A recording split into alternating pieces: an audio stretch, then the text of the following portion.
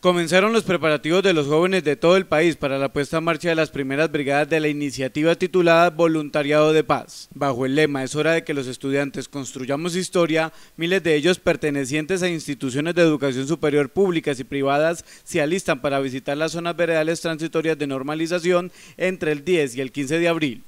Camila Castillo, estudiante de Ciencia Política y Sociología de la Universidad ICESI, expone sus razones de sumarse a esta propuesta de paz. Afortunadamente no viví la guerra en mi país, pero considero importante ser parte de la paz, ser parte de este proceso y como estudiante digo que las dos carreras pues ayudan muy bien a una visión muy general de lo que se puede hacer para, para la sociedad, para la construcción de paz.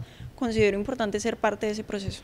Afirmó esta joven universitaria que es deber de los estudiantes de todo el país apoyar esta iniciativa de voluntariado de paz. Uno ve las cosas muy diferente cuando de primera mano entiende que han vivido estas personas, que han vivido las comunidades golpeadas por la guerra y que han vivido estas personas como combatientes porque tienen un motivo para haber empezado la guerra. Hoy a las 7 de la noche en la plazoleta central de la Universidad del Valle San Fernando se realizará la segunda reunión de la iniciativa Voluntariado de Paz, esta vez con énfasis de estudiantes de facultades de salud de la ciudad.